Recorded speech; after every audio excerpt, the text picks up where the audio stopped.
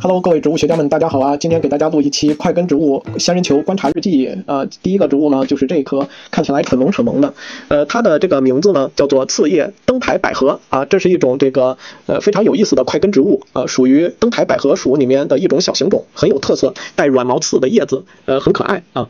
所谓的灯台百合呢，并不是百合花，而是石蒜科灯台百合属的成员，原产在纳马跨兰南部，冬季雨水充沛的开阔地，它就是灯形种的快根。石蒜科我们熟悉的观赏。植物有很多呀，像这个水仙呐、葱兰呐、朱顶红啊，它们都有一个共同的特征，呃，就是属于球根类的花卉。呃，像其他的石蒜科植物一样，灯台百合也是球根花卉，呃，属于快根的一种吧。通过宁静生长的，呃，在地下来适应一年中的干旱时期，在此期间，地球上大部分都会变得很干。为了防止水分蒸腾作用流失，在雨季到来时，巨大的花头才会出现。灯台百合的粉红色花有足球般大小，所以被人称为球根花卉的女王。它的花花期不长，在恶劣的情情况下，呃，生长在那里植物都会珍惜来之不易的养分，而花芽分化并不为了满足人们的观赏，而是为了适应当地气候和地域特征的前提下，尽量用最少的营养输出繁育。目前直播间的这两盆售价是九十八元，价格还是挺实惠的。呃，像这个灯台百合呢，它虽然名字叫百合，但是是没有味道的。如果喜欢闻花香的小伙伴呢，呃，则是不建议购买。但是收集品种和猎奇的角度来说呢，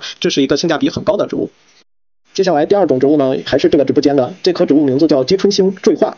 呃，顾名思义，鸡春星是春星的杂交品种。呃，刺的放射状排列相对比较稀松杂乱，花径也小，一点五厘米左右，是春星的园艺变种。花与春星相似，深深玫红色，呃，也比较小。最大的特点就是呈非常典型的多头状，呃，与紫吹化有些相近。鸡春星的缀化非常的漂亮，像一个波浪形的，形成一种梅比乌斯环一样的这种呃造型啊，然后还挺萌的。这样的一颗售价是两百九十八元，不知道大家会不会购买呢？像缀化的话，大家都知道，它是某种多肉植物呢受到不明原因的刺激，其顶端。发生了不定向的发育，形成的生长点不分开的形状，最终长成了扁平扇形或者鸡冠状的呃带状体。它的缀化因形态的奇异呢，所以它的观赏价值非常的高，但又因为稀少呢，它的价值呃就越发的珍贵了起来。一般都是原种的十倍的价格。说完鸡春星呢，再看一下呃相近的一颗，这是一颗加文丸的缀化。加文丸也是呃新手朋友们入门比较多的仙人球品种了。这种植物原产自墨西哥仙人掌科乳突球属的这样的植物，其衍生品种一直是我们所喜欢的景观装饰品，而强健的适应性和良好的观赏性，让它成为了仙人球爱好者的广泛喜欢。这颗缀化的样子非常漂亮，也是呈波浪状或扇子状的这种造型。呃，它的冠幅也挺大的，有八到十厘米左右。它的毛不扎手，不软也不硬，手感刚刚好。呃，如果你要是把它放在手边，呃，没事时候把玩一下，还是挺不错的。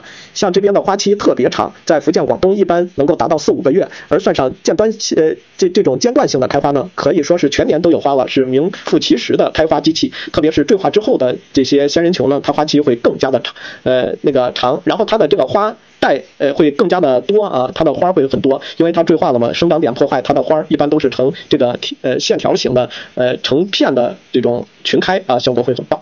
好了，那聊完便宜的，咱们再按惯例聊一下贵的。目前我们看到的这些呢，则是短油龙角牡丹。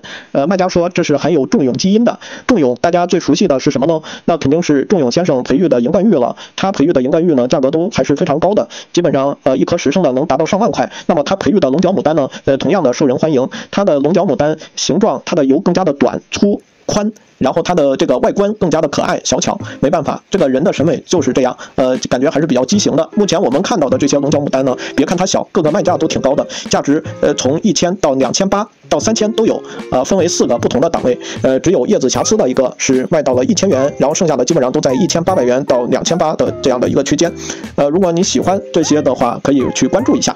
呃，好了，本期的节目就到这了，感谢大家的喜欢，那我们下期见吧，再见。